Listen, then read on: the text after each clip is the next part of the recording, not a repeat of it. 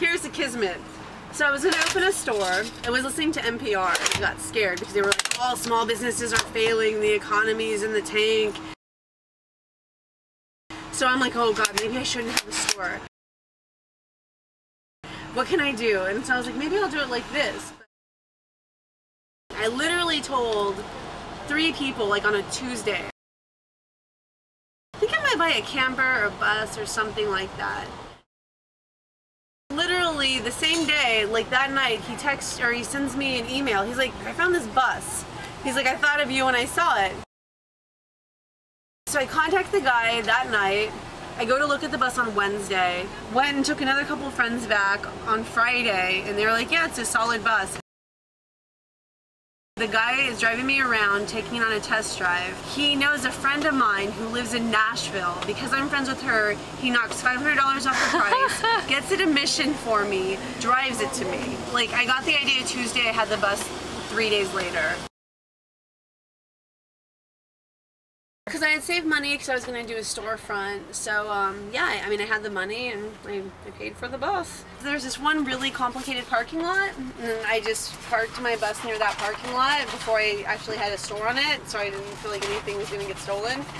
And I just literally drove it around this parking lot, around all these turns, and just kind of got used to the turning radius and you know, because everything happened so fortuitously and so quickly, I didn't have time to like go, oh my god, is this a good idea? You know, it was just like, okay, this is what this is what you're in for.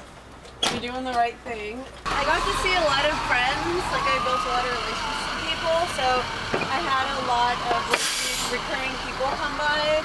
I sort of think it creates like a mall mentality. Like we're instead of like one little thing, it's like sort of like a a larger community sort of thing for people to look at. So we sort of feed off each other, like we keep our prices really competitive. You know, if somebody's trying on something with uh, me and they'll be like, oh, that looks really good, and I'll say the same thing. So, you know, I think everybody just wants everyone to be successful and they buy stuff from me, I buy stuff from them.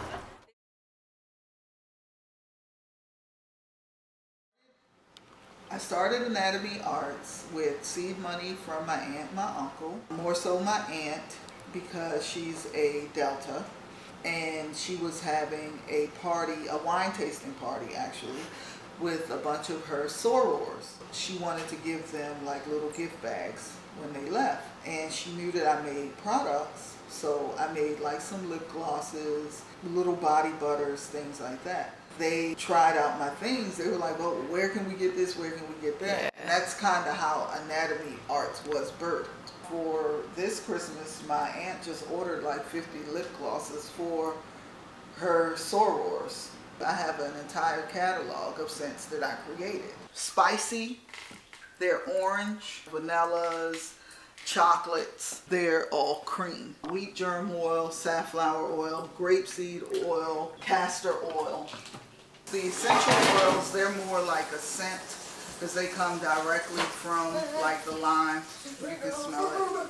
A cedar, rosemary, lime, and mix those together. There are lots of ways of offering your products. I sell in a store at the Owings Mills Mall called Silk Cosmetics, a boutique on Howard Street called Soul to Soul. I wouldn't do anything for sale, but I looked at someone's nasty feet. I was thinking in about three years, uh, maybe opening a little storefront, maybe even near the Charm City Yoga place. My aunt's retired. She's looking for something to do. And while I'm at work, she can run the store. I can have like a small kitchen and make the product there and move production from the house to the store. It's going through a regentrification process. The people that are moving into the neighborhood, this is the type of thing that they like. They like specialty items. I'm not trying to compete with Walmart. I get most of my business from just wearing my products, being out, and people saying, oh my God, you smell wonderful. and it kind of goes from there.